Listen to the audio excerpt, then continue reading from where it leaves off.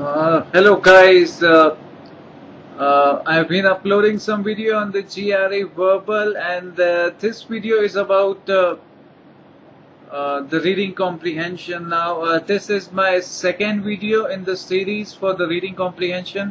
In the first lecture I talked a little bit about what is this subject and how to approach this.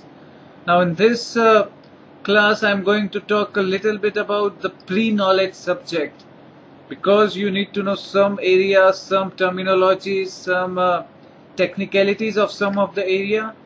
So we talked about uh, the strategy, the importance of pre-knowledge, various things in the last class. We talked about this time strategy. Let me directly get into the kind of uh, areas that you need to study. Now, uh, there are three major areas which are defined by the ETS as the areas of the RC. The first is science, the second is humanities, and the third is social science. Now uh, we know that uh, GRE is given by people of various background. They could be engineers, they could be uh, guys from the medicine, they could be guys from the law. Uh, so if we have like two or three reading comprehension, one would be from science, one would be from humanities, and one would be from social science is a general distribution that you can make. So when you start with your preparation of the reading comprehension, I advise you that if you're weak in some aspect, just read a little bit about the kind of questions possible in that aspect. For example, uh, I I don't know whether you can see this slide very clearly. You can download the presentation from my web website. It's uh, freegregmatclass.com. So, uh, for example, if you are an engineer from India and you are giving this exam, then the kind of areas that could trouble you is uh, psychology.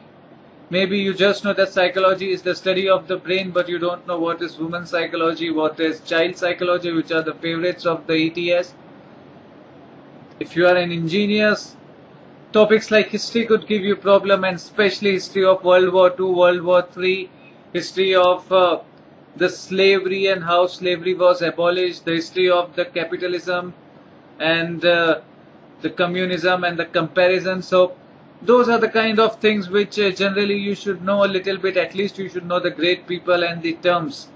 Because when you come to a reading comprehension, pre-knowledge is going to play a role. You need to understand about the definitions of these things, about why and how, what logics are there to support a capitalistic society what logics are there to support uh, uh, the kind of uh, system that we have. What, what logics are there to support the kind of woman uh, and the feminist movement that is going on? So uh, these are the areas which you need to study a little bit before when you give the exam because at the time when you are in the exam you need to have some idea about the terminologies which are going to be used.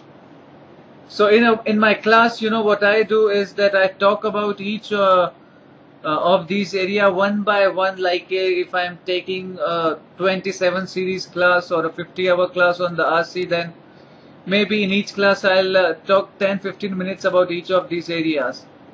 So uh, I, what I do is that I prepare my students in a way that he understands a little bit about all of these areas. So if there is suddenly a reading comprehension on feminism, he, under, he understands the basic uh, theme of the feminism, what are the logics given, what was the state of women, how we are trying to uh, make an equal society, what are the steps taken. So when there is uh, an uh, RC, he knows at least the basic of the subject. Now, of course, the subjects are huge, but we know that these are the kind of subjects that's going to be asked. And if you're afraid of some subject, then to remove the psychological barrier, you should uh, read that area. Like, for me personally, I'm afraid of uh, literature. So I generally try to read uh, Milton's literature, the Paradise Lost, the Trojan Wars, the Greek literature. So I do that to remove my fear and to understand what's go what goes on in uh, those subjects. So first you have to make a list of which areas kind of have a psychological effect on you that, oh, I get this area and life is tough for me in the GRE. Remove that part, read that area and uh, come to my class and solve uh, RCs on that area to get confidence from uh, uh, to get confidence and uh, so that you don't get it wrong in the GRE. Okay, for the CAT, for the for those guys who are giving the CAT or the GMAT, uh, those areas would be a little bit different. They would be economy, financial, jobs, biology, technology, and financial aspect. The, the game is different for IMCAT. The game is a little bit different for the GRE, and the game is little bit different as you change the mode of exam you are giving in. We talked about the ability to concentrate the diplomatic language. Now, when we talk about the diplomatic language and application of this diplomatic language to pre-knowledge, it's quite important because suppose there is a reading comprehension which compares a free market versus the old system that we had or the globalization or those things then the author is uh, trying to persuade you it's a persuasive writing method so you should understand the diplomatic language to actually get in 100% of what points author is raising to support his stand Alright, so uh, there have been some strategy sets, these triggering words we are going to cover in the next class. And uh, so what, what step one goes uh, in the pre-knowledge is you should remove your psychological and mental barrier for the subject. And if you're afraid of some subject, just uh, understand that subject, do the RCs on that subject and improve yourself. So uh, that's what uh, you are required to do. Now, uh, I'll try to upload the RCs of each of the 27 areas. I'll try to have a 10 minutes uh, lecture, single lecture. So I'll try to upload around 300 minutes of uh, the videos on all these areas uh, with a pre-knowledge and with one RC being solved. So I'll try to do that. Uh, and you should work on removing your fears because fear is something which keep you down. So move out of your fear and win the war. For example uh, some people my uh, some people from uh, India feels that Greek mythology is something which they don't understand. So you should read on this subject. You should read a couple of books. And uh, we use uh, therefore this technique uh, the three method step to read but and look at the second point which talks about the pre-knowledge. You should have pre-knowledge about the subject to kind of interpret and understand the depth of the logic which are being told.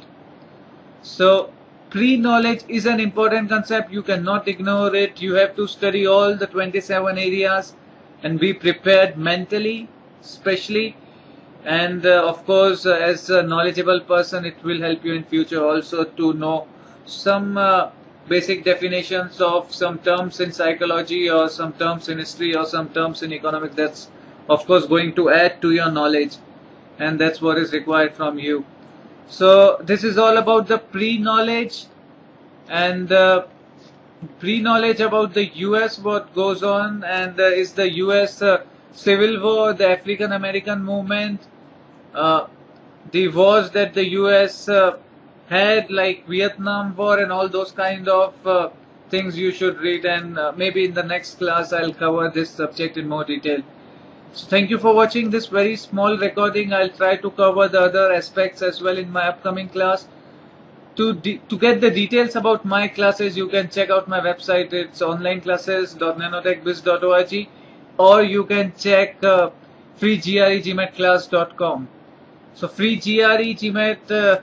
freegregmatclass.com is my website. You can check it out for the latest videos or the uh, online classes that I take and you can join in on each weekday or weekends as your schedule or you can uh, uh, check out or request some classes and I will try to arrange them. So thank you for listening to this very small recording. Best of luck for the exam and God bless you.